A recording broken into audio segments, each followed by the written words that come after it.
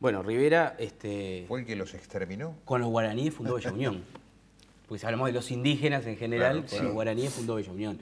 Eh, obviamente, en una operación militar asesinó a una gran parte de los que quedaban, los charrúas que quedaban en Salsipuede, una operación militar que tenía el visto bueno de la mayoría de la población y el visto bueno particularmente de un nombre como La Valleja. ¿Por, qué?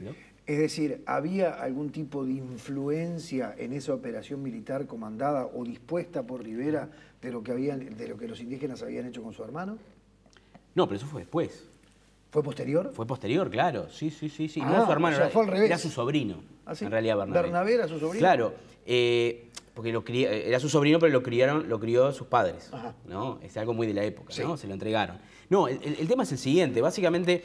Ah, la eh, muerte de Bernabé Rivera fue después de Claro, el episodio Yacaré Cururú, ¿no? Un, pueblo en, en, Artigas que se llama Bernabé Rivera, que es como una puñalada para la gente que vive en Yacaré Cururú, que le hayan nombrado al pueblo Bernabé Rivera, ¿no? Pero lo cierto es que el episodio de Salsipuedes, a mí me gusta dividirlo este, eh, muy claramente. Por un lado, no, no, soy adepto a las teorías de las organizaciones sociales que hablan de genocidio, es un exceso absoluto, pero tampoco estoy de acuerdo con algunas este, teorías, más que nada del bando colorado, y más que nada sostenidas por el, expresidente Julio María Sanguinetti, que este, llegan a eh, niveles casi de risa, hablando de epidemias de gripe y cosas así. Básicamente el episodio existió, fue una matanza, fue una matanza terrible. Eh, esa matanza tenía que ver con un, ciclo de matanzas que se venían dando desde la época colonial. ¿no? La idea de exterminar y sacar de la tierra al indio, porque el indio no ingresaba al sistema. ¿no? El, el indio no plantaba, el indio seguía viviendo de la misma forma, asaltaba las estancias, ¿no? Entonces, de alguna, de alguna manera, la solución que encontraron en una época bárbara y violenta eh, fue esa está bien, está mal, no, no, voy a... Ahora, ¿esas eran las características de los pueblos indígenas de, lo que hoy es el Uruguay? ¿Por qué te hago esta pregunta? Porque esta, nuestra tierra, es la única que no conserva pueblos indígenas hoy en día. Claro, esa es la característica que los criollos veían ah. de los indígenas. ¿Y los criollos de las otras tierras? No, pero lo que pasa es que... Argentina, lo que pasa es que en la banda oriental eh, los indígenas eran de corto número. ¿ah? Eran de corto número. Más que nada guaraníes, más que nada minoanos, más que nada guenoas y charrúas. Y los charrúas eran los menos, para que tengan una idea, eran los más cortos en número. Pero los de más difícil adaptación. Absolutamente. Es lo que pasó con los indígenas del sur argentino también. Claro.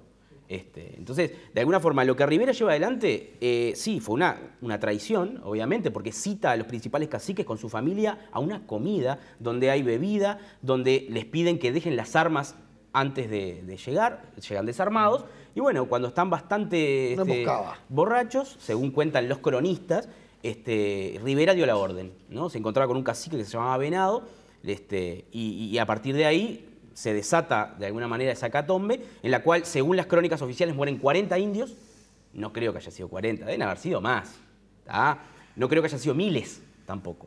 Estamos hablando de cientos. En realidad, un cronista Oxford, que era un cronista sueco que se encontraba en Montevideo, de primera mano, eh, escuchó que habían sido 300. Pero lo cierto Estamos hablando de caciques y su familia. Y sus familias, claro.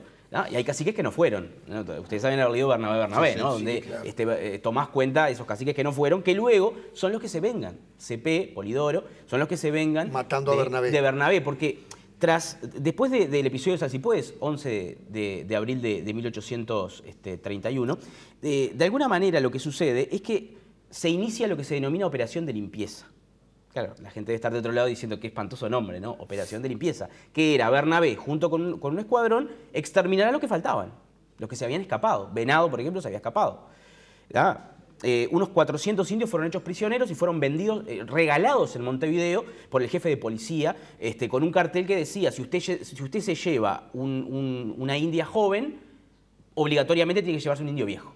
Claro, porque si no le quedaban de clavo todos los viejos. ¿no? Una cosa terrible en una época bárbara, una época bárbara. Pero posteriormente, absolutamente violenta. Pero ¿qué pasa? Bernabé Rivera, junto con sus hombres, los encuentran en Mataojo, hay este, una escaramuza, mueren un montón de indígenas, Creo que, y esto lo, plantean algunos este, antropólogos, más que en Puedes, en Mataojo. Y bueno, después el episodio de Yacaré Cururú es una celada de los indios. Este Bernabé viene con, una, con una tropa pequeña y ve a unos indios, poquitos, los persigue, los persigue, hasta que llega a un lugar en el cual lo están esperando muchos. Ahí lo emboscan y ahí lo matan. Y no solo que lo matan, sino que lo torturan, este, le sacan los tendones para hacer este, eh, arco y flecha, mientras vivía en una especie de, ceremonia de sangre, pero bueno, se estaban vengando. En una época también bárbara, la venganza es de la misma manera.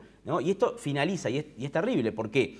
Porque en realidad encuentran el cadáver de Bernabé Rivera, lo entierran con honores de general y al mismo tiempo Francisco Acuña de Figueroa le hace un poema, un poema épico que en su velorio se recita.